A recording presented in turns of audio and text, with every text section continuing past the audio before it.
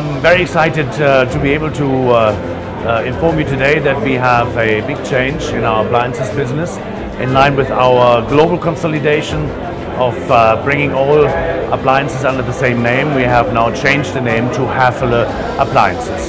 So this uh, basically tells you where it comes from. Uh, we bring you quality, we bring you appliances that are good for you and are good for Indian cooking and we bring you appliances that come with an excellent service and backup as well. So this is very, very important.